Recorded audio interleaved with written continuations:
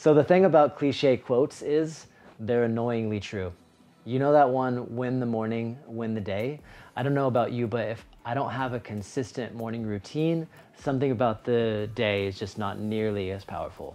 And so I'm here to share with you my four secrets to a supercharged, super powerful morning routine. So the first thing I do when I get up in the morning is I go straight to the kitchen, I grab a liter of water, half a lemon, gives my body a nice kick of vitamin C and helps me to rehydrate after being dehydrated for the full night. The second secret is I go straight into my morning breathwork practice. So my breathwork practice right now is the Marcel Hoff method. It's called the 50-50.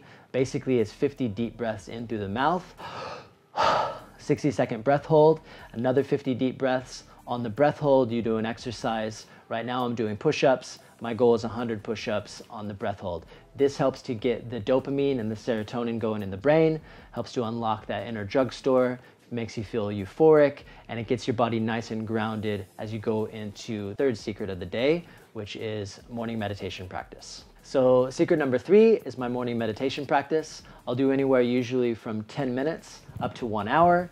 Really depends on what time the baby wakes up. Uh, but the technique that I'm doing right now is called Anapana. It's basically the first thing that they teach you in the Vipassana meditation technique, which is essentially tracking the inhale and the exhale, the respiration through the nose. Meditation is a great way to get grounded, get your head clear, get your mind straight before going out and uh, doing whatever it is that you do in the world. Secret number four, gym session. Going to the gym is a great way to kickstart the metabolism, get the nervous system firing, something about getting a nice sweat, checking that box for physical activity. It just makes you feel juiced and powerful and kind of ready to go out and own the day.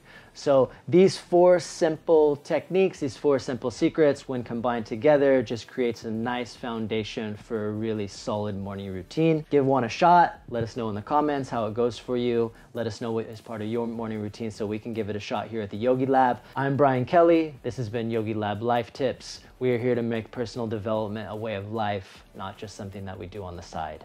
Join us.